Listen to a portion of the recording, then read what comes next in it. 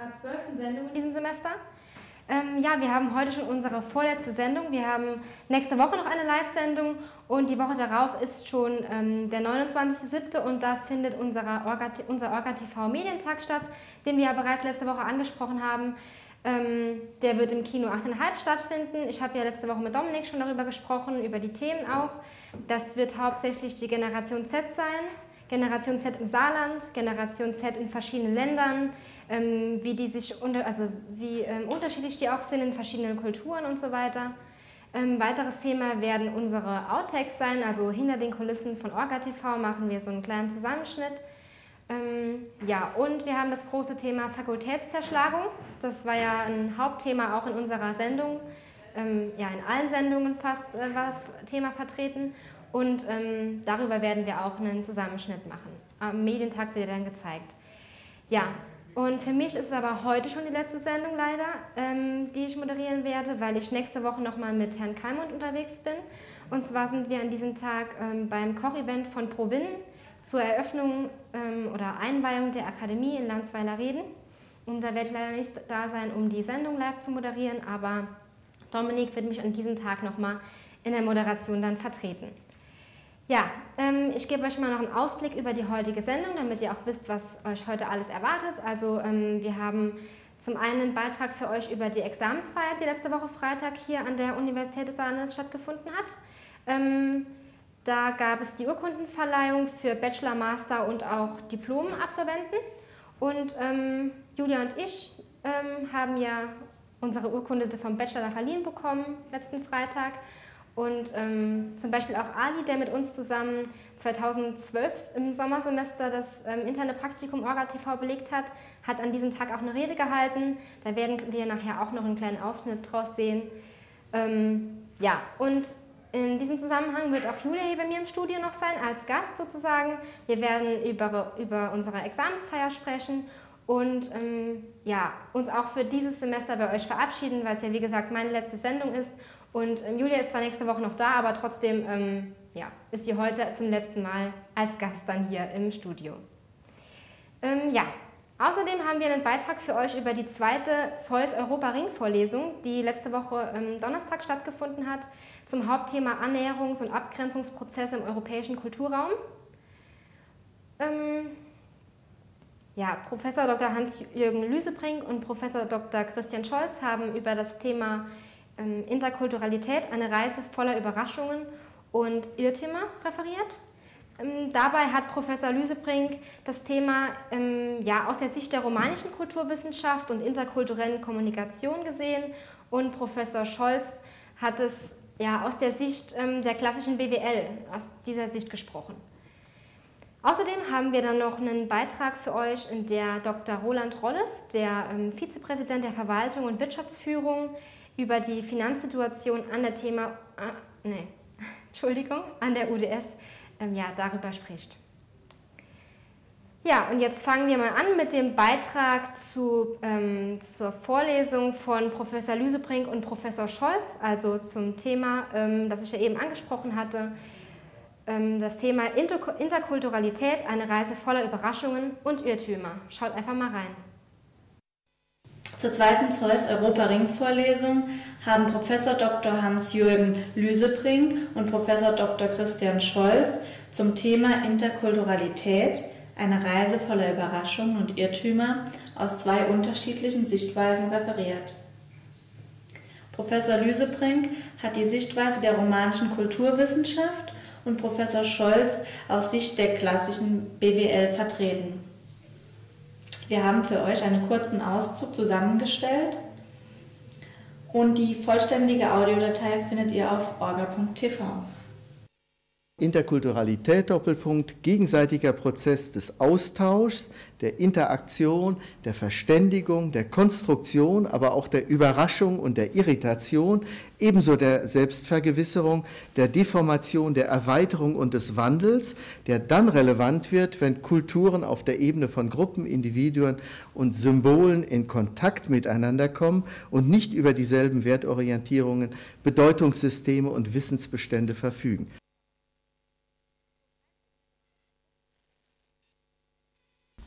Sowohl in seiner Liste als auch was er von Herrn Barmer referiert hat. BWL kam da gar nicht vor. Es kam nicht Management vor, es kam nicht BWL vor. Und das ist nicht, weil er das jetzt ausgelassen hat, um mich irgendwie zu ärgern. Nein, äh, in der BWL ist dieses Wort der Interkulturalität etwas, was überhaupt erst in den letzten paar Jahren überhaupt in die Diskussion gekommen ist. Wenn wir zurückgehen in die Zeit 70er Jahre, 80er Jahre, hat die BWL damals als höchste Erkenntnisstufe gehabt etwas, was sich International Management nennt. Deshalb Genealogie bedeutet zurücksteigen in die Vergangenheit, ins 19. Jahrhundert in dem Fall, um zu verstehen, woher kommt dieser Kulturbegriff und welche Hypotheken weist er auf. Kultur, ich habe in meinem Brockhaus, den ich gerne hierher geschleppt hätte, aber es war mir jetzt doch zu schwer, 1824, Kultur noch mit C geschrieben, von lateinisch collere, bebauen, bearbeiten bedeutet, so Brockhaus Konversationslexikon von 1824, erstens die auf ein Ding gerichtete Tätigkeit, um die in ihnen schlummernden Kräfte zu entwickeln und auszubilden. Zweitens aber auch den Zustand, in welchem diese Kräfte schon bis zu einem bedeutenden Grade entwickelt und ausgebildet sind. Daher spricht man ebensowohl von der Kultur eines Ackers oder, oder Landes als von der Kultur eines Menschen oder Volkes. Sie haben gerade äh, gehört, diese ganze Historie, die ganze Entwicklung, ähm, Völkerkunde, Idee, verstehe den Feind. Verstehe, um zu gewinnen. Und das ist natürlich etwas, was man durchaus als interessant auch für Betriebswirt einsehen kann. Und da war natürlich jetzt die große Frage, Unternehmen gehen in unterschiedliche Länder und können nicht jedes Mal intuitiv alles neu erschließen. Das ist ineffizient. Also tun Betriebswirte das, was sie gelernt haben. Sie versuchen, klare, simple Formeln zu finden, die einem in jedem Fall auch eine komplexe Kultur klar kommunikativ rüberbringt. Und der Hauptvertreter, der das gemacht hat, ist, ich habe es leider das neue Buch hier, sehe ich gerade, und nicht das alte, aber das ist jetzt egal, äh, Hofstede. Und Hofstede, für die, die ihn nicht kennen, das sind vielleicht zwei in dem Raum, erwähne ich es aber nochmal, weil es wichtig ist. Hofstede ist hingegangen und hat mal rausgekriegt, was ist so das Charakteristische von Ländern. Und hat dieses Charakteristikum oder diese Charakteristika auf einige wenige kurze Variablen reduziert.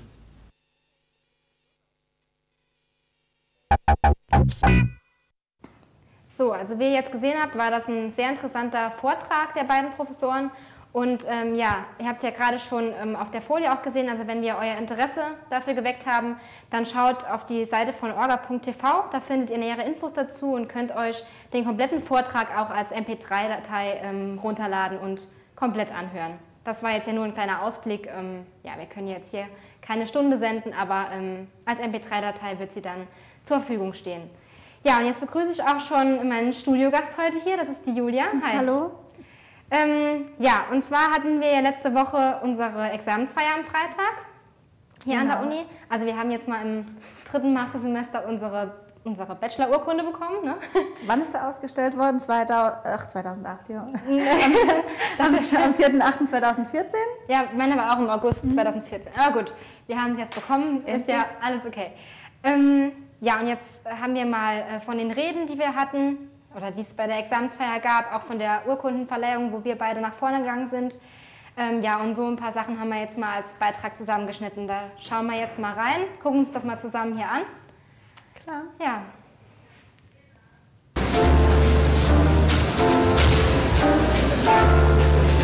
Ganz stolz auf das, was Sie erreicht haben. Und ich wünsche denen, die uns verlassen, weil sie jetzt einen Diplom- oder Masterabschluss haben oder vielleicht nach einem Bachelorabschluss in den Beruf auch gehen oder eine andere Universität anstreben. Alles Gute für den Lebensweg. Ich freue mich natürlich dann auf die Studierende, die uns ja noch gar nicht verloren gehen, die also einen Bachelorabschluss haben und äh, dann in einem unserer Masterstudiengänge ja weiter studieren und äh, die dann die Freude haben werden, in einer vergleichsweise überschaubaren Zeit wieder eine solche Examensfeier äh, erleben zu dürfen. Das soll aber von meiner Seite her genügen. Das ist unsere erste große Rede zu einem so wichtigen Anlass und äh, vor einem so großen Publikum. Natürlich haben wir bereits zum Beispiel bei Professor Zendis oder Professor Kröppel-Klein in vielen Fallstudien und Übungen gelernt, wie man richtig präsentiert. Und daher wissen wir, dass bei jeder Präsentation fängt man mit einem Zitat an. Das Zitat ist von Alexander Saheb, einem deutschen Journalisten und Buchautor, und sagt, die Vergangenheit ist die Wahrheit. Die Gegenwart ist ein Zufall und die Zukunft ist ungewiss. Ist eine Theorie. Praktische Erfahrungen konnte man hingegen auch im Bereich der internen und der externen Praktika sammeln. Ich persönlich habe ein internes Praktikum bei Professor Scholz bei OrbeTV gemacht. Als Moderator hatten wir zwölf Wochen lang jede Woche 30-minütige Sendungen zusammengestellt.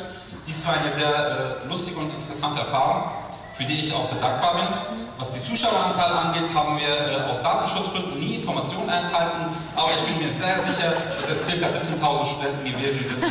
Wer weiß das Gegenteil. Julia Laufer.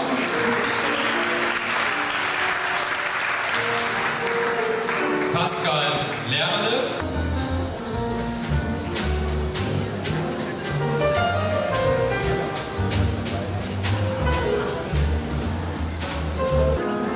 Michelle Müller-Bach.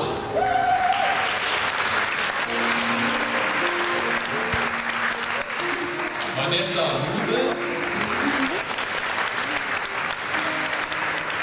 Chantal Naumann.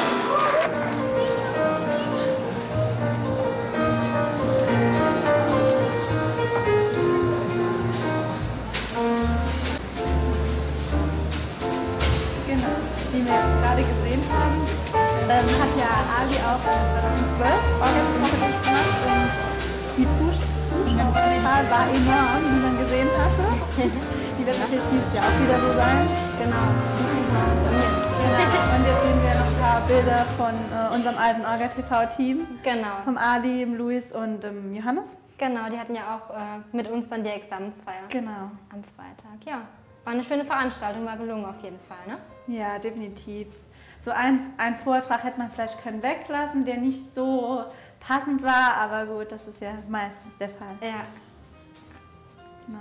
Aber trotzdem, obwohl es jetzt auch so viele Leute waren, ging es trotzdem relativ ähm, schnell vorbei mit der Zeugnisübergabe oder Urkundenverleihung, ne? Fand ich. Ja, doch schon. Es war immer in, in Fünfergruppen dann ja so aufgeteilt, das ging dann eigentlich, fand ich. Genau. Wie man auch gehört hat, dass du schön gelacht hast während des Vortrages. Während, ja, ja, Genau, hat man während, Beitrag gesehen, genau ne? hat man einen Beitrag gesehen Ja. Von Ali, dem, dem Ja. Statement da, ne? Genau. Ja, genau. ja, ähm, das war die Examensfeier, da werden wir dann, gut, nächstes Jahr keine haben, übernächstes wahrscheinlich, ne?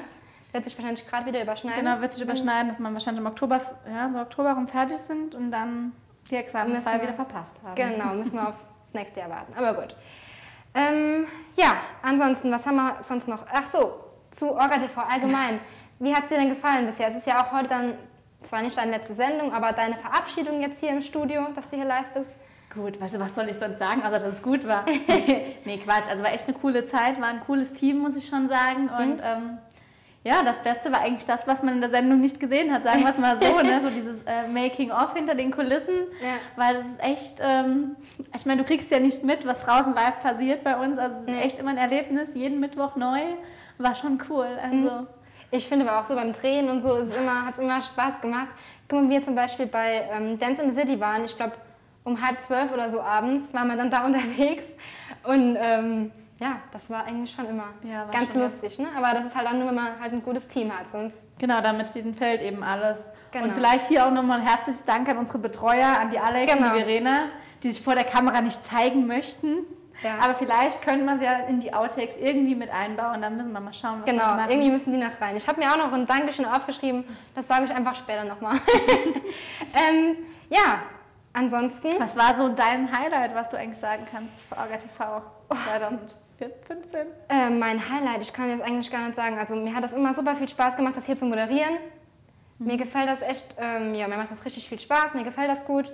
Und ähm, ja, ich, Highlight kann ich eigentlich keins nennen. Ist immer cool mit euch hier und ähm, ja, also war alles ein Highlight. Genau. ja, Was gut. natürlich auch ohne diese unsere ÜMP-Kids gar nicht gegangen Nee. wäre. Die haben Weil uns immer ja auch jede Woche zwei Stück da sind, die uns mit der Kamera geholfen haben und Genau. so war echt cool. Ja. Wir werden ja auch jetzt heute hier noch gefilmt, ne? Für die, ähm, ja, für den Beitrag hinter den Kulissen bei Orga TV wird jetzt hier auch noch was nebenher noch gedreht.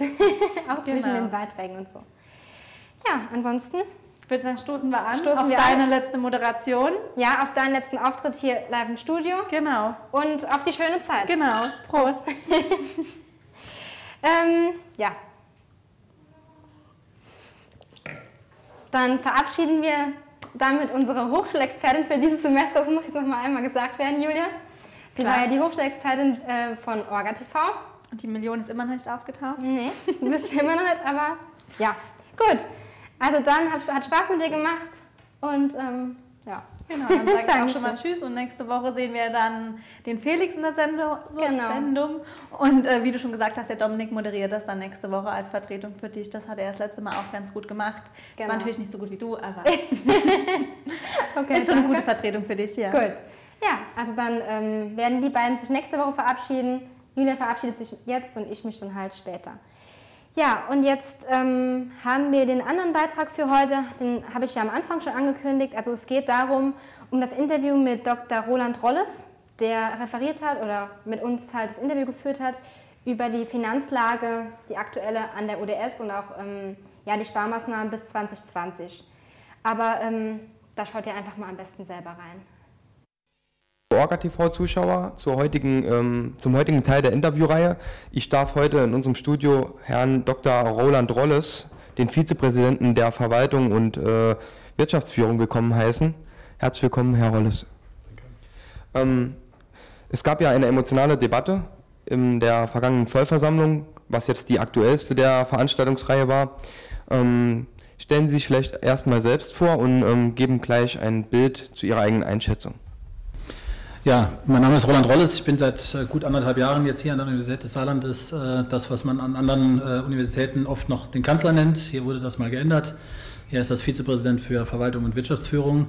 Ich bin seit Januar 2013 hier äh, zuständig für alles, was mit Verwaltung, Finanzen, IT, Personal und ähnlichen Dingen, also rund um die Hochschulverwaltung zu tun hat und äh, habe äh, in einer Phase hier begonnen, als eben die Diskussion um die äh, Finanzlage der Universität natürlich schon in vollem Gange war. Wir haben den Finanzrahmen bis 2020 vom Land bereits 2013 erhalten und äh, als ich anfing im Januar äh, 2014 wurde dann auch das Gutachten des Wissenschaftsrats vorgelegt, was ja Auslöser vielfältiger Diskussionen jetzt in den letzten Monaten gewesen ist.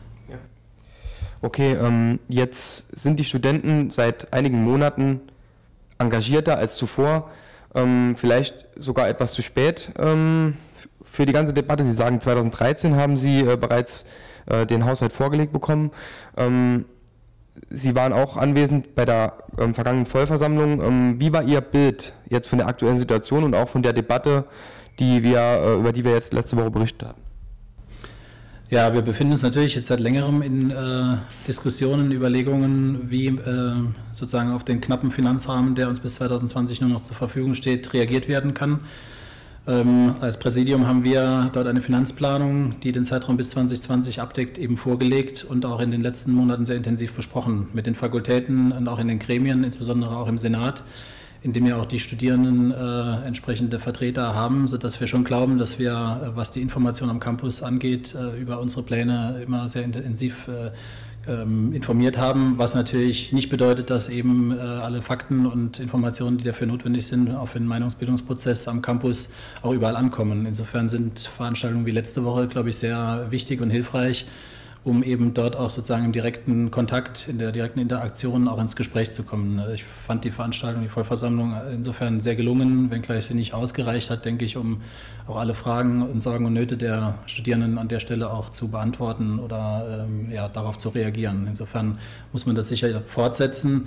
Es ist insofern natürlich nicht zu spät, als dass wir hier über einen Sechsjahreszeitraum sprechen, in dem verschiedene Dinge sich verändern werden. Wir stehen vor einem Rückbau der Universität.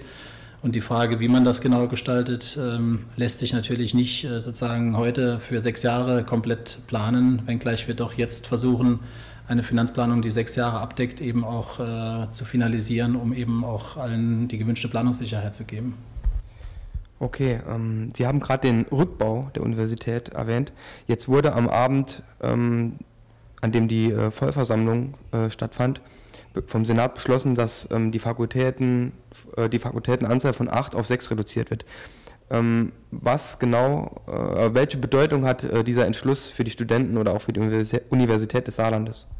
Der Senat hatte bereits vorher dazu Stellungen bezogen, die etwas differenziert waren. Der Universitätsrat hat dem Vorschlag des Präsidiums folgend äh, sozusagen die äh, Restrukturierung von heute acht auf dann nunmehr künftig sechs Fakultäten beschlossen, die zum 1. Oktober 2016 realisiert werden soll, also zum Wintersemester 16-17.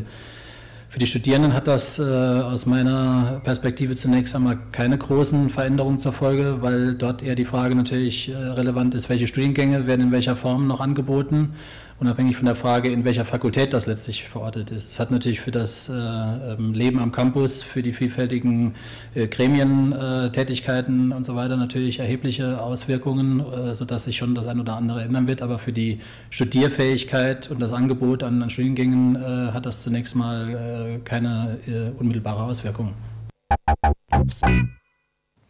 So, mit diesem letzten Beitrag sind wir eigentlich auch schon fast wieder am Ende unserer heutigen Sendung.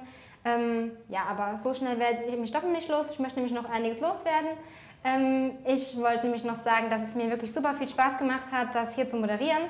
Ähm, ich denke, ich habe einiges dazugelernt hier und das ist auch ja, eine ganz tolle Erfahrung gewesen. Ähm, ja, mit dem Team auch schon, wie ich eben mit der Julia auch schon gesprochen hatte, war echt, hat alles gepasst, war cool. Und ähm, ja, damit nochmal danke an das ganze Team, danke an Felix, dass du immer mit der Technik geguckt hast, mit den Kabeln, dass da alles funktioniert, dass du oft eingesprungen bist zum, zum Filmen auch und so. Danke an Julia, dass du ähm, ja, immer die Hochschulexpertise hier gemacht hast, dass du immer super viel geschnitten hast, ähm, weil du das auch am besten kannst einfach hier. Ne?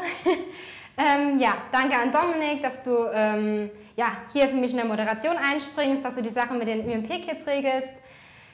Danke an die UMP-Kids selber, die äh, uns hier jede Woche assistiert haben. Danke an Verena und Alex, haben wir eben auch schon gesagt, unsere Betreuerinnen, die hier auch immer uns geholfen haben, die Sendung auf die Beine zu stellen. Die sitzen jetzt auch draußen hier am Bild- und Tonmischpult. Ähm, ja, haben uns auch immer geholfen. Also vielen Dank, hat echt Spaß gemacht mit euch. Und ähm, falls man jetzt demnächst irgendwie die Prüfungsordnung wechseln kann und man kann vielleicht noch ein Studienprojekt einbringen, dann würde ich sagen, machen wir auf jeden Fall ein nochmal Orga-TV. Ich hoffe, ähm, mein Team macht da mit. ähm, ja, ansonsten, ihr sollt aber nächste Woche auf jeden Fall noch einschalten. Also ich bin nicht mehr da, aber Dominik vertritt mich ja. Wir haben nächste Woche unsere letzte Sendung. Ähm, Themen werden sein unter anderem noch ein weiterer Beitrag von Dr. Rolles. Also wir haben ja gerade den einen gesehen, da werden wir noch einen oder zwei sogar haben. Und wir haben noch einen Beitrag für euch über Borussia Neunkirchen, also aktuelle Wasserstandsmeldungen zum Stand der Insolvenz. Ähm, und zwar war am 19.06. dazu eine Mitgliederversammlung bei der Borussia im VIP-Raum. Und ähm, da hat der Insolvenzverwalter und der erste Vorsitzende und auch die anderen Vorstandsmitglieder ja, aktuelle Wasserstandsmeldungen zur Insolvenz halt gegeben. Ähm, ja, und Sachen erklärt, wie das zum Beispiel der Stichtag, ähm, an dem die Saison hier endet, war der 30.06. Ähm, das heißt, der ist ja schon rum, also Borussia ist nicht abgestiegen, die spielen nächste Saison auf jeden Fall Oberliga. Es kann aber sein, wenn die Insolvenz ähm, bis zum 31.07. eröffnet wird oder bis zum 1.08., dass dann ähm, in der Oberliga gespielt wird, aber ohne Punkte, also dass man halt gar keine Punkte einsammeln kann. Da wird es dann halt auch sicher schwer, irgendwie ähm, ja, überhaupt Spieler ja, zu bekommen oder so, weil ich denke, es macht ja so viel Spaß äh, zu spielen und ähm, ja, Power zu geben und dann halt ähm, ja, trotzdem immer auf dem letzten Platz zu sein und äh, nie Punkte zu bekommen. Aber ähm, ich denke, die Meldungen sind ganz gut. Es gab auch heute noch eine Neuigkeit nach der Mitgliederversammlung dann in der SZ, aber ähm, das werdet ihr alles nächste Woche sehen. Nur noch ein Satz dazu und zwar ähm, sieht jetzt eigentlich ganz gut aus. Und wenn jetzt eine gewisse Summe bis zum Stichtag 31.07. eingenommen werden kann und wenn auch Vergleiche mit den Gläubigern geschlossen werden können, dann kann die Insolvenz abgewendet werden, indem halt der Insolvenzantrag zurückgezogen wird. Das ist bis zu diesem Zeitpunkt möglich. Und ähm, drückt mal die Daumen, dass es klappt und äh, sieht im Moment alles ganz positiv aus. Ja, das alles erwartet euch nächste Woche. Also schaltet auf jeden Fall wieder ein. Ich wünsche euch noch ganz viel Spaß dabei. Wir sehen uns nächste Woche nicht, aber ähm, ich denke an euch. Also bis dann, nächste Woche wieder einschalten, 18.18 Uhr bei orga.tv.